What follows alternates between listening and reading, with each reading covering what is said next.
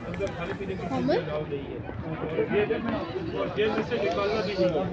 नहीं सारे कैमरे